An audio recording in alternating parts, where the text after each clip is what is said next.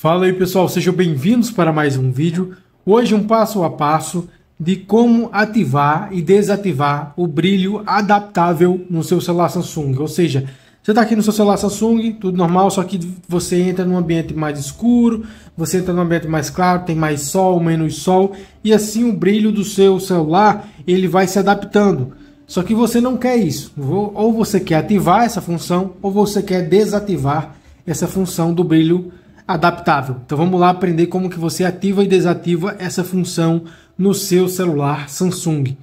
Você vai vir aqui até configurações do seu celular Samsung, beleza? Abriu aqui as configurações, você vai descer aqui, vindo até visor, e aqui embaixo você vai encontrar a opção. Aí você pode regular o brilho aqui normal, aqui o brilho normal, e aqui você tem a opção do brilho adaptável. Quando você clica aqui, ó, está vendo ele, mexendo sozinho, o brilho sendo adaptado sozinho de acordo com o ambiente.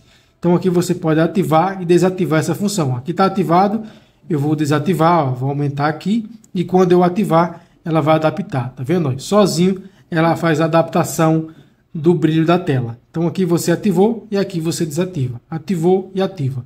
Beleza, pessoal? Bem simples e bem fácil. É isso aí e até o próximo vídeo. Valeu!